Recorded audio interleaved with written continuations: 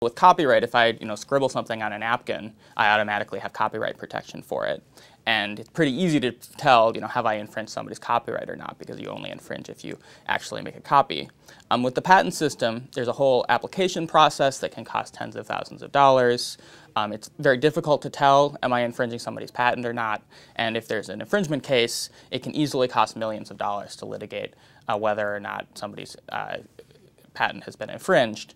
And so if you're looking uh, at a, a, movement like the open source software movement or 3D printing, where the whole idea is that a single individual has these very powerful tools where they can, um, they can build things from sort of from scratch or using building on top of the work of others. Um, if you have a legal system where you really need to hire a patent lawyer um, before you're allowed to really do anything, um, which is effectively, if, if, if, people are really trying to follow the rules that the patent system lays down, you really need a patent lawyer to understand and comply with them. Um, that really precludes uh, DIY innovation. And so what happens in practice is that people just ignore the patent system, and then they get a nasty shock if their idea becomes successful. People come, you get all these patent holders come out of the woodwork and start suing them, and it really, I think, uh, becomes a disincentive to uh, to the kind of innovation that the patent system is theoretically supposed to foster.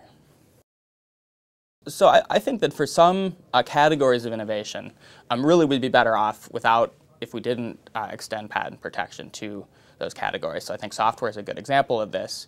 Um, the, the patentability of software is really a recent uh, phenomena. There was some uh, sort of um, equivocal uh, Supreme Court decision, and there was one in 1981, but then the, some lower courts really decisively said you could patent software only as recently as 1998. And um, this was a very controversial decision in the, in the software industry. You had uh, people like Bill Gates and companies like Oracle expressing concerns that would really harm innovation in the software industry. Um, and I think they were basically right. And um, the, the explosion of litigation we've seen in the, in the cell phone industry, for example, um, I think is a good example of that.